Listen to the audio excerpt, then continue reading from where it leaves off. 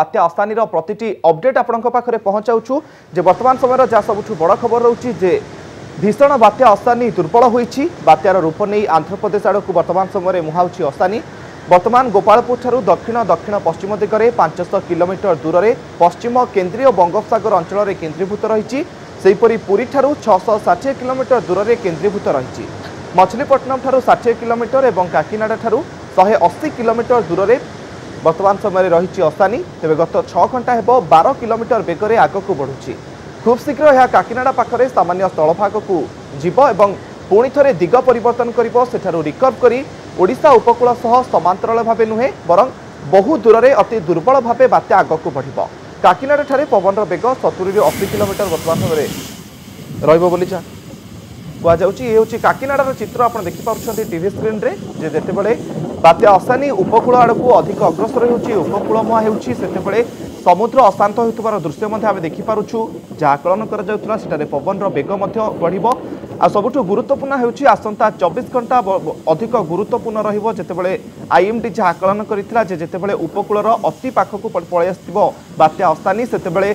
ବାତ୍ୟାର ଅଧାଭାଗ ରହିଥିବ ସମୁଦ୍ର ଭିତରେ ଏବଂ ଆଉ ଅଧାଭାଗ ସ୍ଥଳଭାଗରେ ରହିଥିବ ସେହି ସମୟ ଅତ୍ୟନ୍ତ ଗୁରୁତ୍ୱପୂର୍ଣ୍ଣ ରହିବ ସେତେବେଳେ ପବନର ବେଗ ମଧ୍ୟ ବୃଦ୍ଧି ହୋଇପାରେ ଏବଂ ବର୍ଷାର ପ୍ରବଳ ବର୍ଷା ମଧ୍ୟ ହୋଇପାରେ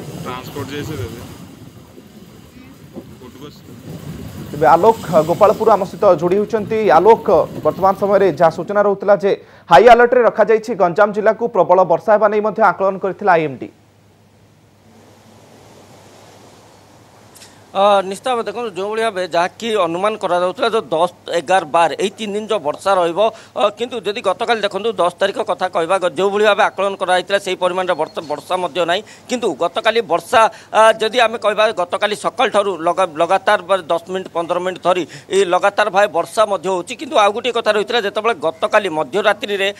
ଗୋପାଳପୁର କହିବା କିମ୍ବା ଏହି ଆଖପାଖ ଅଞ୍ଚଳରେ ପ୍ରବଳରୁ ଅତି ପ୍ରବଳ ବର୍ଷା ଦେଖିବାକୁ ମିଳିଥିଲା କିନ୍ତୁ ବର୍ତ୍ତମାନ ସକାଳୁ ସେହି ଚିତ୍ର ଦେଖିବାକୁ ମିଳିନାହିଁ ସେହି এইভাবে ভাবে বর্ষা এখানে নাই আগে কথা রয়েছে দেখুন এইসবুক আখি আগে রকি জেলা প্রশাসন পক্ষ যেভাবে ভাবে পদক্ষেপ নিয়াযাই বিভিন্ন সরকারি কর্মচারী মানে সতর্ক হয়ে রয়ে যাই এনএচ গোপালপুর কথা কহবা যদি গোপালপুর সোনপুর ও গারামপেটা পড়মপেটা মার্কনি এইসব যে বিচ রয়েছে এইসব বিচরে পুলিশ মুতয়ন মৃত্যুণ রয়েছেন এইসব বিচরে কৌশি লোক যদি বিচ কু যাতে তবে সে বারণ করা যাচ্ছে আমি আগে কথা দেখুন গোপালপুর চিত্র যদি কহবা খরাদিনে এই ଏହି ସମୟରେ ଅନେକ ପର୍ଯ୍ୟଟକ ରହିଥାନ୍ତି ଏଠାରେ ଅନେକ ପର୍ଯ୍ୟଟକ ସମୁଦ୍ରର ସହିତ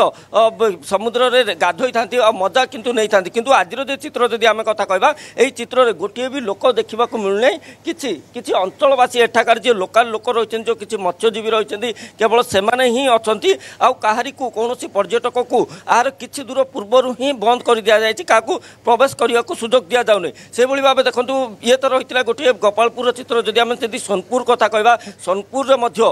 ଯେଉଁ ପର୍ଯ୍ୟଟକମାନେ ଯାଉଛନ୍ତି ତାହାର ମଧ୍ୟ ତାର ବହୁତ ପୂର୍ବରୁ ପର୍ଯ୍ୟଟକଙ୍କୁ ପୋଲିସ ମଧ୍ୟ ବନ୍ଦ କରି ରଖିଛି କାହାରିକୁ ସେ ଭିତରକୁ